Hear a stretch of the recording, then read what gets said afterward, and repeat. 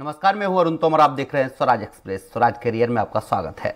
दोस्तों, आज हम कॉमर्स स्ट्रीम के विषयों की बात करेंगे। कॉमर्स में कितने सब्जेक्ट होते हैं, कॉमर्स स्ट्रीम के अंतर्गत किन सब्जेक्ट्स को पढ़ना होता है, इस तरह के सवाल कॉमर्स स्ट्रीम चुनने वाले या चुनने की सोचने वाले हर विद्यार्थी के मन में आ सकते हैं।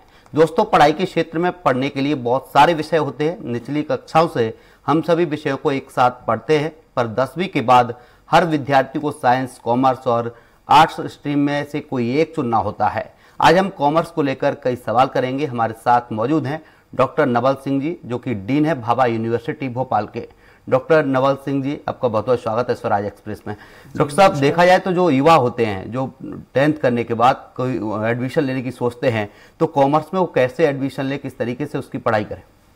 जी नमस्कार। बहुत अच्छा सब्जेक्ट लेकर के आप स्वराज चैनल के माध्यम से मैं सभी को बधाई देता हूँ। कि इस प्रकार के जो कार्यक्रम है, अपने युवा शक्ति जो भारत का है, उसमें उनके मार्गदर्शन में आप लोग बहुत बड़ा एक योगदान दे रहे हैं उनके फ्यूचर प्लान के लिए। उसमें एक विषय है जिसको एलाइड कोर्स के रूप में जाना जाता है, उसमें से एलाइड कोर्स में एक सब्जेक्ट है कॉमर्स। कॉमर्स में अगर जो बच्चा इंटरेस्टेड है, उसको एडमिशन प्रोसेस के लिए कॉमन टेस्ट कई यूनिवर्सिटी कराती है। आजकल गवर्नमेंट यूनिवर्सिटी भी कॉमन टेस्ट लेकर के उसको एडमिशन की प्रोसेस करती है। प्राइवेट यूनिवर्सिटीज़ भी अपने स्तर पे इसकी कॉमन टेस्ट करती है या डायरेक्ट एडमिशन में परसेंटेज के बेस पे इसमें एडमिशन होता है। क्या इसके लिए कोई गवर्नमेंट कॉलेज से पढ़ाई करना उचित रहेगा या फिर किसी प्राइवेट यूनिवर्सिटी से भी छात्र पढ़ाई कर सकते हैं? शिक्षण व्यवस्थाएँ जहाँ पर बेटर हो मेरा ये कहना है। चाहे वो शासकीय हो चाहे प्राइवेट हो। निजी विश्वविद्यालय से पढ़ना भी उतना ही ठीक है जितना कि गवर्नमेंट विश्वविद्यालय या गवर्नमेंट कॉलेजेस से भी पढ़ना है। कई जगह ऐसा देखा गया है इसमें मैं शासकीय महाविद्यालयों को कोई क्रिटिसाइज या आलोचना नहीं कर रहा हूँ कि क्लासेस को लेकर के या शिक्षण व्यवस्थाओं को लेकर के कुछ आपत्तियाँ हैं जिसके कारण आज पूरे भारतवर्ष में निजी विश्वविद्यालय और निजी महाविद्यालयों का एक प्रसार हुआ। तो अगर बेटर सुविधा और बेटर शिक्षण व्यवस्था प्राइवेट और निजी विश्वविद्यालय और कॉलेजेस देती है तो दोनों से शिक्षण ग्रहण कर सकते हैं स्टूडेंट कॉमर्स की पढ़ाई करने वाले छात्र जो छात्र छात्रा रहते हैं उनके सामने एक सवाल रहता है कि इसमें भविष्य क्या होगा? अगर हम इसकी पढ़ाई करते हैं तो इसके भविष्य क्या रहेगा उनका? जी। कॉमर्स विषय एक ऐसा विषय है जो कि वाणिज्य से रिलेटेड है व्यापार से रिलेटेड है और व्यापार की जितनी भी सूक्ष्म से सूक्ष्म चीज़ें होती है वो जैसे आपने बताया कि टेंथ के बाद एक सब्जेक्ट का चयन करना होता है स्टूडेंट को कि इलेवेंथ में ट्वेल्थ में and then first year second year third year और वो मास्टर डिग्री तक जाता है। तो वाणिज्य विषय एक ऐसा विषय है जो व्यापार का लेन देन से लेकर के उसके लेखांकन सिस्टम को लेकर के टैक्सेशन को लेकर के उसके हिसाब किताब जिसे अपन पैसों का जो लेन देन होता है वो पूरे ट्रांजैक्शन को ये लोग अध्ययन करते हैं और पूरे ट्रांजैक्शन को पॉइंट फाइव ज़ीरो तक जी। मतलब फिफ्टी पैसा तक कैलकुलेशन करने की व्यवस्था दी गई है और इसमें अलग अलग हर लेवल पे इसकी व्यवस्था है एक बिज़नेस के लिए जो अकाउंट है फाइनेंशियल अकाउंट जिसमें तीन अकाउंट बनाए जाते हैं जो अंतिम वर्ष में फाइनेंशियल ईयर के एंड में जिसमें trading account profit and loss account and then balance sheet ये बच्चा बना करके और बच्चा सीखता है जब तो किसी भी व्यापारी को चाहे वो मल्टीनेशनल कंपनी हो या आ, अपने हज़ारों करोड़ की कंपनी हो या एक छोटा सा दुकानदार हो उस दुकान और बिजनेसमैन को ये बता सकता है कि इस फाइनेंशियल में आपके व्यापार में कितना प्रॉफिट हुआ या कितना लॉस हुआ। लॉस हुआ तो किन कारणों से हुआ इसकी भी एनालिसिस करने की व्यवस्था वाणिज्य विभाग में दी गई है। दूसरी चीज़ की इसमें तीन स्टेप मैंने जैसे बताया कि trading profit and balance sheet तो ये तीनों ऐसा अकाउंट है जो कि हर स्टेज पे ग्रॉस प्रॉफिट निकालता है व्यापारी कि अब इसमें से इनडायरेक्ट एक्सपेंसेस माइनस करके नेट प्रॉफिट निकालता है जिस पे गवर्नमेंट को टैक्स देना होता है इनकम टैक्स है या सेल टैक्स है। देन जो जीएसटी का रूप ले लिया। बैलेंस शीट से किसी भी बिजनेसमैन को उसकी फाइनेंशियल पोजीशन को अपन बता सकते हैं कि आपकी लाइबिलिटीज कितनी है और एक एसेट्स है। तो वाणिज्य का जो विषय एक ऐसा है बहुत बेहतरीन रूप है और व्यापार अगर जो पृथ्वी पर जब तक रहेगा ये वाणिज्य की इम्पोर्टेंस उतनी ही ज़्यादा रहेगी क्योंकि व्यापार करना इजी है लेकिन उसकी एनालिसिस करना और पैसों का एनालिसिस करना बहुत ही ज़रूरी है तभी बिज़नेस सक्सेसफुल काम कर पाएगा बिजनेसमैन अपने आगे की फ्यूचर प्लान कर सकता है वो कॉमर्स विषय के स्टूडेंट डॉक्टर साहब सबसे बड़ा सवाल ये आता है युवाओं में आजकल कि देखा जाए वो अगर कॉमर्स से पढ़ाई कर लेते हैं इसके बाद वो देखते हैं कि नौकरी किस किस सेक्टर में उन्हें मिल सकती है। गवर्नमेंट की बात की जाए या प्राइवेट की बात की जाए दोनों ही सेक्टरों में किस किस सेक्टर में नौकरी कर सकते हैं? दोनों सेक्टरों में बहुत सारे इसके जॉब की अपॉर्चुनिटीज़ है जो मैं एक एक करके बताऊँगा। इनमें कोर्सेज का भी थोड़ा सा मैं डिटेल देना चाहूँगा कि कॉमर्स के साथ बीकॉम एक जनरल कोर्सेज है बच्चा वो पढ़ाई लेता है। साथ में इसकी हायर एक स्टडी है जिसे चार्टेड अकाउंटेंट सीए के नाम से फ़ेमस है। वो ट्वेल्थ के बेस पे ग्रेजुएशन के बेस पे भी होता है। वो चार्टेड अकाउंटेंट जो कि टॉपेस्ट कॉमर्स के हायर पोस्ट तक जाता है जो कि पूरी टैक्सेशन की और बिज़नेस की अकाउंटिंग की काम करते हैं। इसके अलावा वर्क एंड कॉस्ट अकाउंट है जो सिर्फ़ कॉस्टिंग किसी भी प्रोडक्ट की कॉस्टिंग निकालने का काम इसमें किया जाता है और उसका अध्ययन करता है। तो जो जो मैन्युफैक्चरिंग यूनिट है उसकी कहीं ना कहीं बेस जो अपन रीढ़ की हड्डी बोलेंगे, अगर कॉस्टिंग पे उसने नियंत्रण कर लिया तो आज जो कंपटीशन है मार्केट में, वो कंपटीशन को फेस कर सकता है, क्योंकि वो लागत पे अगर नियंत्रण कर लिया तो आगे वो अपनी प्रॉफिट को भी बढ़ा सकता है। तो दूसरा वर्क एंड कॉस्ट अकाउंटिंग पे आ गई। उसके अलावा फाइनेंशियल एडवाइजर की कोर्सेज हैं। इसके अलावा अपने आजकल तो इनमें जॉब की अपॉर्चुनिटीज़ की बात करें कि अगर जनरल एक बीकॉम पास बच्चा भी अगर उसकी कमांड है शेयर डिवेंचर और म्यूचुअल फंड जो आपने अभी भारतीय समाज में देखा होगा और कोरोना के समय के बाद लोगों ने डीमेट अकाउंट जो कि ओपन करना होता है शेयर्स की ऑनलाइन अगर ट्रेडिंग करना चाहें तो तो वो डीमेट अकाउंट एक रिकॉर्ड लेवल पे ओपन हुआ था भारत में और आज भी गृहणियाँ भी भारत की अब शेयर ऑनलाइन ट्रेडिंग कर रही है। म्यूचुअल फंड में पैसा लगा रहे हैं। तो कॉमर्स का स्टूडेंट ही जो बेटर एक आपको ऑप्शन बता सकता है कि किस कंपनी के म्यूचुअल फंड लेना है, किस कंपनी का शेयर्स अपने को लेना है और कब बेचना है। तो ये एक जॉब अपॉर्चुनिटीज़ कॉमर्स के स्टूडेंट के लिए है कि वो एक इस प्रकार का एडवाइजर बन करके वो समाज के लोगों को ज्ञान दे सकता है, मार्गदर्शन दे सकता है और अपनी अर्निंग कर सकता है।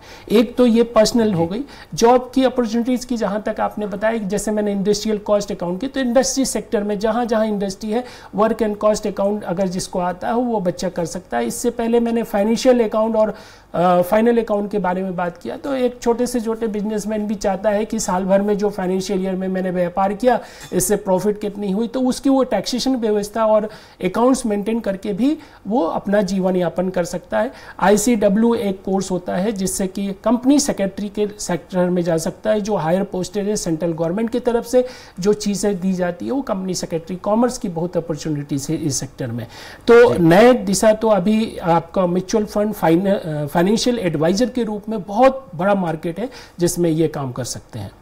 इसके अलावा टीचिंग की अगर उसको रुझान है तो शिक्षण व्यवस्था है और भारत में ये एलाइड कोर्सेज में माना जाता है। एलाइड कोर्सेज में जैसे आर्ट्स है साइंस है कॉमर्स है और इनके बहुत सारी ब्रांचेज हैं। जैसे कॉमर्स के ये सब्जेक्ट है। साइंस में अगर जाएँगे तो साइंस में तो बच्चों को एक कॉमन मैंने समाज में देखा है कि B C B S C computer science अगर बच्चा ले रहा है तो बीएससी कंप्यूटर साइंस ले लिया या पीसीएम ग्रुप से ले रहा है जो प्रचलित है समाज में। लेकिन मैं साइंस का इतना बेहतर विस्तृत रूप है कि आपको एक घंटे का कार्यक्रम इसके लिए करना होगा और इसकी ब्रांचेज लाइफ साइंस से लेकर के एग्रीकल्चर बीएससी एग्रीकल्चर साइंस भी ए, आ, अपने एलाइड कोर्सेज में आता है। अभी एक और चीज़ आई है जो कि इंडियन बार काउंसिल ने डीसीआई ने एक और चीज़ की है कि पाँच साल का इंटीग्रेटेड कोर्स किया है जो बी एल एल बी के नाम से आपने सुना होगा। बी एल एल बी जो बच्चा करता है पाँच साल का रहता है और उसमें जब स्पेशलाइजेशन की ओर जाता है तो वो भी अपनी जॉब जो एलाइड कोर्सेज की अगर बात करें तो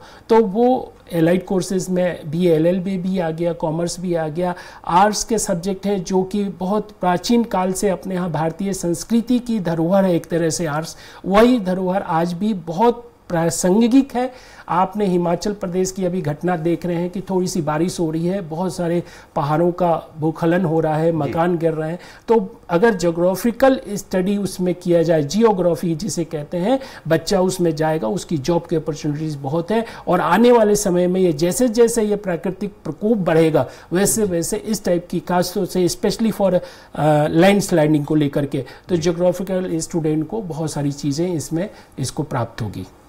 डॉक्टर साहब देखा जाए तो आजकल जो युवा हैं वो गवर्नमेंट जॉब के बारे में ज़्यादा सोचते हैं तो कॉमर्स से गवर्नमेंट में कौन कौन सी जॉब उन्हें मिल सकती है? जी। गवर्नमेंट जॉब आज से नहीं आ, समय इससे पहले से भी जो व्यक्ति चाहता है कि मेरा जॉब सुरक्षित रहे। जी। और एक भारतीय मानसिकता में भी देखी गई है कि जॉब की सिक्योरिटी के साथ साथ आराम का जॉब चाहता है। जी जी। तो इस कारण से भारतीय समाज के युवक और पहले से ये व्यवस्था देखी गई कि गवर्नमेंट शासकीय जॉब की होती है। शासकीय जॉब में महालेखा परिषद आपने नाम सुना होगा। आपने कैग का नाम सुना होगा जो भारत सरकार द्वारा पूरी संस्थाओं की इसकी अकाउंटिंग इसकी ऑडिट कराई जाती है। तो महालेखा परिषद हर स्टेट में है।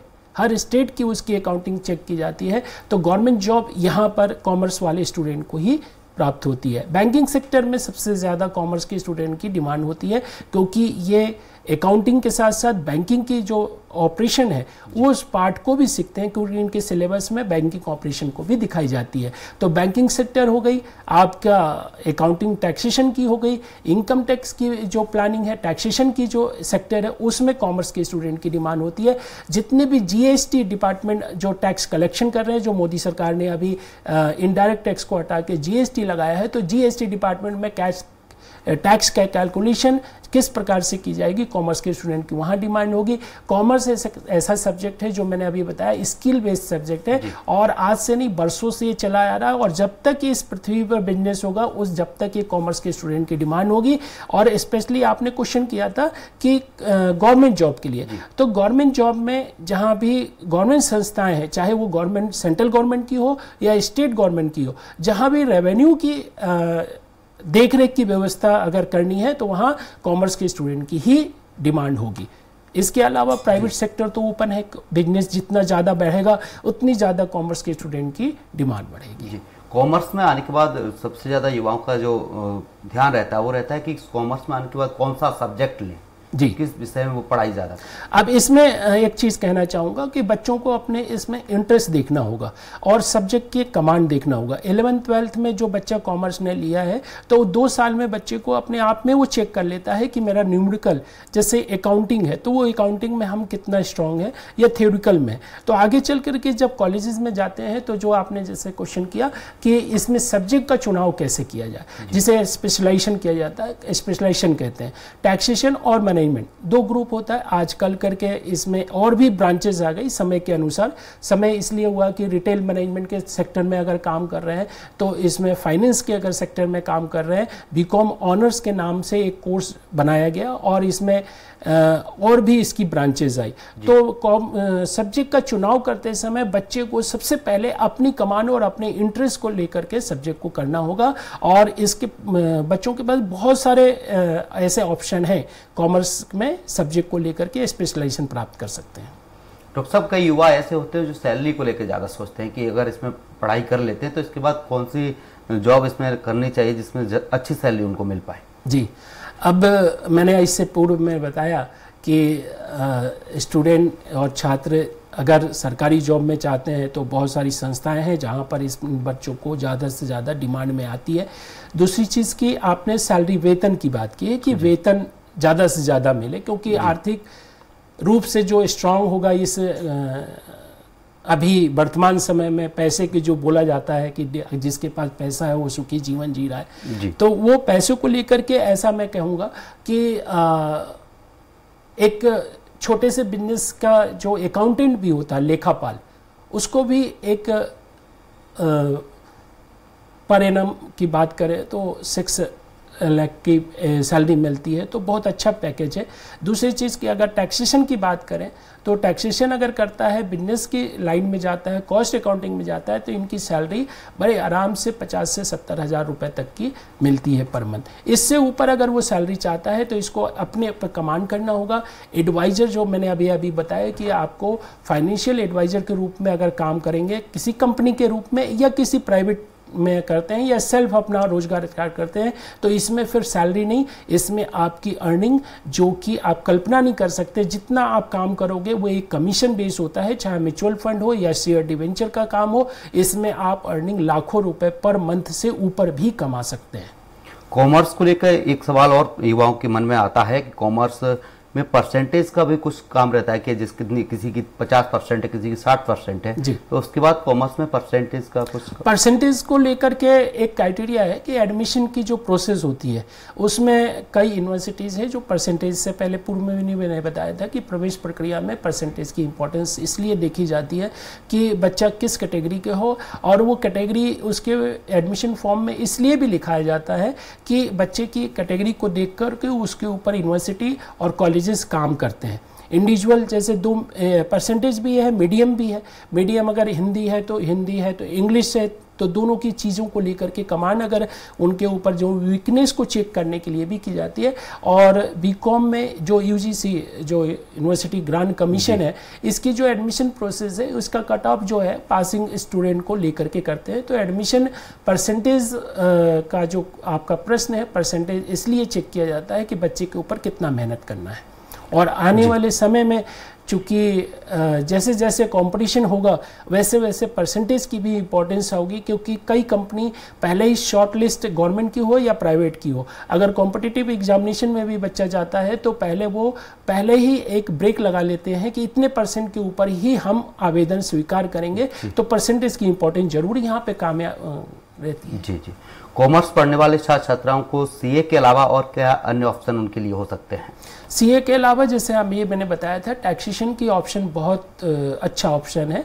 टैक्सेशन चूँकि सीए भी करता है लेकिन उनकी एक कैटेगरी है उनका एक लेबल है। बहुत ऊपर लेवल तक कंपनियों की वो टैक्सेशन को लेकर के बात करते हैं। लेकिन मैं तो छोटा बिज़नेस को लेकर के एक मिडिल बिज़नेस को लेकर के जो कम पूंजी में काम कर रहे हैं, उनके लिए भी टैक्सेशन का अवसर है तो उसमें काम कर सकता है, अवसर है। दूसरी चीज़ की इंडस्ट्रियल सेक्टर में काम करने के लिए इनका काम है कि जितने भी मैन्युफैक्चरिंग यूनिट है, उसमें कॉस्ट का मूल्यांकन करना, जो इससे पहले भी मैंने बताया कि कॉस्टिंग के ऊपर अगर कोई कंपनी कंट्रोल कर लेती है तो वो अपने कंपटीशन में सक्सेस हो जाती है। तो यहाँ अपॉर्चुनिटीज़ बहुत ज़्यादा है, जितनी भी मैन्युफैक्चरिंग यूनिट है। या पर, जहाँ पर जैसे अपना भारत में महाराष्ट्र का एरिया हो या गुजरात का एरिया हो या बेंगलोर का है या मैन्युफैक्चरिंग यूनिट बहुत ज़्यादा है। इन राज्यों में कॉमर्स के स्टूडेंट की बहुत जॉब की अपॉर्चुनिटी यहाँ तक कि सैलरी सभी कुछ बेटर होती है।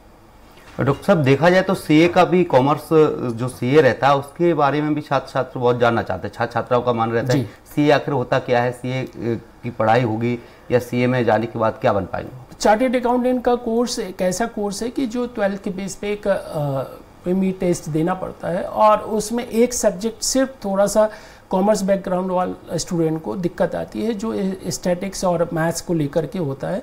और बाकी जो कॉमर्स के सब्जेक्ट हैं, वही कॉमर्स के सब्जेक्ट उनके होते हैं। किसी सी के अंतर्गत इनकी प्रैक्टिस शुरू हो जाती है और एक निपुण तरीके से वो चार्टेड अकाउंटेंट बनते हैं। जब चार्टेड अकाउंटेंट बन जाते हैं तो उनकी जॉब की अपॉर्चुनिटी 200 परसेंट बढ़ जाती है।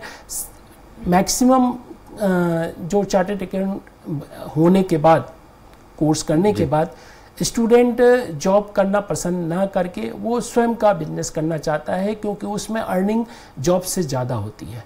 टैक्सेशन को लेकर के जितना ज्ञान प्राप्त होगा उतना ज़्यादा वो पैसा प्राप्त करेगा। तो चार्टेड अकाउंटेंट का कोर्स एक सीए की प्रैक्टिस के अंतर्गत उसको संपन्न कराई जाती है तो वो निपुण तरीके से टैक्सेशन की व्यवस्था कर सकता है। अन्य कोर्सेज के अलावा कॉमर्स से पढ़ने वाले छात्रों का कोर्स कितना अलग होता है? अन्य कोर्सेज के अलावा चूँकि मैंने बताया कि कॉमर्स एक ऐसा सब्जेक्ट है जिसमें पैसों का लेन देन को लेकर पूर्ण तरह से रखाव करती है तो ये एक जीवन यापन से रिलेटेड जितने भी व्यवसायिक प्रतिष्ठान है या जो बजट को लेकर के है, या अपने घर की बजट हो या अपने पैसों की जो एक खर्च की कहानी है उसको लेकर के यहाँ इसकी इम्पोर्टेंस है। तो आपने बोला कि एक अन्य सब्जेक्ट से कॉमर्स का सब्जेक्ट कैसा अलग है? अलग। है ना? तो अलग इसलिए है कि ये जीवन से जुड़ा हुआ सब्जेक्ट है। कई ऐसे सब्जेक्ट होते हैं जो अपने जीवन में प्रयोग में बहुत कम आता है। लेकिन ये ऐसा सब्जेक्ट है कि जो हर व्यक्ति के जीवन में काम ये आएगा। इनकम टैक्स एक ऐसा सब्जेक्ट है कि हर व्यक्ति आज एक पैन कार्ड जो मोदी जी ने बोला है कि बनाना चाहिए तो पैन कार्ड जहाँ बनेगा वो कॉमर्स जुड़ जाएगा। जहाँ भी जीएसटी जो भी एक परचेस कर रहे हैं जैसे आपको जानकारी होगी कि आप खाद्य पदार्थ हैं या जितने भी पदार्थ हैं उस पर इनडायरेक्ट टैक्स हट के जीएसटी लग रही है। तो जीएसटी सभी व्यक्ति दे रहा भारत का।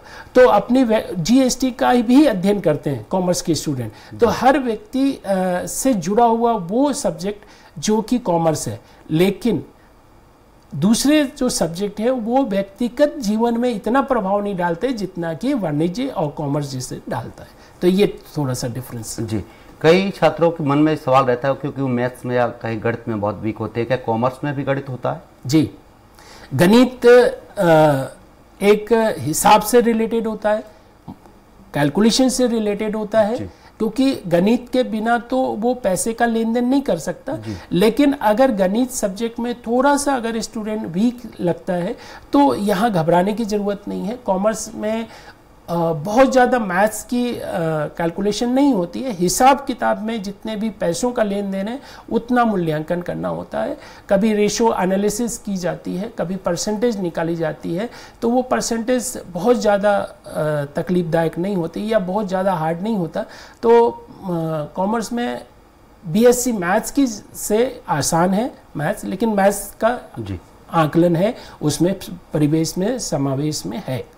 जैसे डॉक्टर साहब आपने बताया बीएससी और बीए इस तरीके से बीकॉम और भी कोई कोर्सेस हैं जो कॉमर्स से किए जा सकते हैं? बीकॉम और इसके अलावा? नहीं कॉमर्स के एक अलग स्ट्रीम है साइंस अलग स्ट्रीम है आर्ट्स अलग स्ट्रीम है। तो वो तो अलग अलग सबके एक सेक्टर हैं क्षेत्र हैं। बच्चे को एक अपने इंटरेस्ट के आधार पर और अपनी जॉब अपॉर्चुनिटीज़ के आधार पर आने वाले फ्यूचर में क्या एक आने वाला भविष्य है, उसको ध्यान में रख करके कोर्स का अपॉर्चुनिटीज़ को लेना चाहिए। और मैंने बार बार चीज़ें ये बात कर रहा हूँ विद्यार्थियों के लिए कि कभी भी देख करके कि वो व्यक्ति क्या कोर्स कर रहा है ऐसा नहीं करना चाहिए।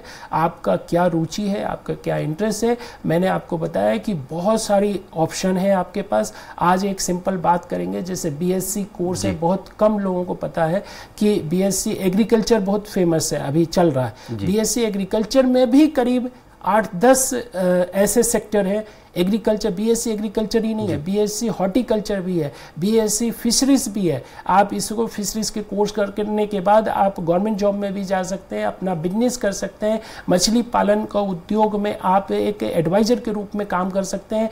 हॉर्टिकल्चर जो भारत में चल रही है वो हॉर्टिकल्चर में अगर बी हॉर्टिकल्चर करते हैं ये सब स्पेशलाइजेशन है। बी एस एग्रीकल्चर की जो मैं एक बात करूँगा। तो ऐसे कोर्सेज भी हैं जो कॉमर्स के अलावा भी बहुत सारी चीज़ें हैं और बहुत सारे ऑप्शन हैं।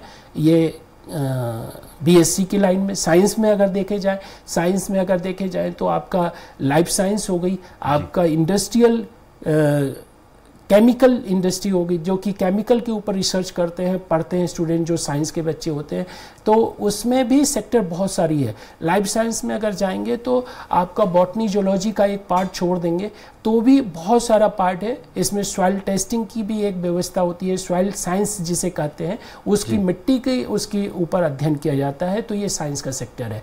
ऐसे ही आर्ट्स की अगर बात करेंगे तो मैंने एक जोग्राफी की बात की थी अभी। उसके अलावा साइकोलॉजी है जो जितना भी भारत में या विश्व में जब जब तनाव होगा जी। वो किन्हीं भी कारणों से हो। वो तनाव को के कारण जो अपने मानव शरीर पे जो दुष्प्रभाव होता है जिसे एक साइको की एक बात की जाती है समाज में। उसके उपचार हेतु एक साइकोलॉजिकल जो क्लिनिकल साइकोलॉजी होती है वो साइकोलॉजी भी कहीं कहीं बहुत आर्ट्स में बहुत पॉपुलर है और भारत में इसे बहुत ही गलत नज़रिए से देखते हैं कि लोग हमारे बच्चे को पागल ना बोले जबकि ऐसा नहीं है। हर बच्चे को ये गाइडेंस देना भी साइकोलॉजी में उसको अगर भ्रम हो रही है तो वो दूर करना साइकोलॉजिकलिस्ट का काम होता है। इसमें दो प्रकार का है एक मेडिकल साइकोलॉजिकल होता है और एक सोशल साइकोलॉजिकल भी होती है। ये यूरोपियन कंट्री में बहुत तेज़ी से है। ऑनलाइन भी ये अपना बच्चा करके अपना व्यवसाय कर सकता है पर्सनल उसकी थेरेपी दे सकता है। तो ये भी एक अर्निंग वाला कोर्स है। दूसरी चीज़ की आर्ट्स की अगर एलाइड की अपन टोटल बात कर रहे हैं तो आर्ट्स सब्जेक्ट भी जो बरसों से चला आ रही है लिटरेचर साइंस में अगर जाएँगे इंग्लिश लिटरेचर जो आपका आपका फ़र्स्ट क्लास से लेके पीजी तक जाएँगे तो आपको इंग्लिश के कोर्सेज पढ़नी है। तो अगर कोई इंग्लिश लिटरेचर लेकर के अध्ययन करता है स्पेशलाइजेशन ले लेता है तो उसको जॉब की दिक्कत नहीं आएगी। आपकी हिंदी लिटरेचर एक सब्जेक्ट है। बहुत बच्चा कम रुझान जाता है स्पेशलाइजेशन कम ले रहा है इस समय। तो हिंदी लिटरेचर का सब्जेक्ट भी लेता है वो भी बच्चा फ़र्स्ट से लेकर के पीजी तक का को हिंदी एक फाउंडेशन कोर्स जो सुप्रीम कोर्ट के गाइडलाइन में है वो चीज़ की गई है। एक इन्वायरमेंट मैनेजमेंट है तो बीएससी इन्वायरमेंट का कभी कोर्स स्पेशलाइजेशन है वो भी कर सकता है। ये सब एलाइड के कोर्सेज में बहुत ब्रांचेज हैं जो कि मैं तो अभी बहुत शॉर्ट में बता रहा हूँ। अगर बैठेंगे तो इसकी बहुत सारी शाखाएँ हैं और वो शाखाएँ कहीं ना कहीं न्यूट्रिशन का कोर्स है। आज जिस प्रकार से दिक्कतें आ रही है डायबिटिक पेशेंट बढ़ते जा रहे हैं तो उनकी खान पान की डॉक्टर बोल के आदेश के अनुसार खाना है तो कंट्रोल हो सकता है तो न्यूट्रिशन का कोर्स कर सकता है। तो ये एलाइट का कोर्स में बहुत सारी ब्रांच है और कॉमर्स के अलावा अन्य कोर्स भी कर सकता है। जी। हमारे साथ आज चर्चा के लिए थे डॉक्टर नवल सिंह डीन है जो भाभा यूनिवर्सिटी भोपाल के। डॉक्टर साहब आपका बहुत बहुत धन्यवाद हमारे साथ चर्चा करने के लिए। फ़िलहाल के लिए स्वराज कैरियर में इतना ही। आप देखते रहे स्वराज एक्सप्रेस नमस्कार।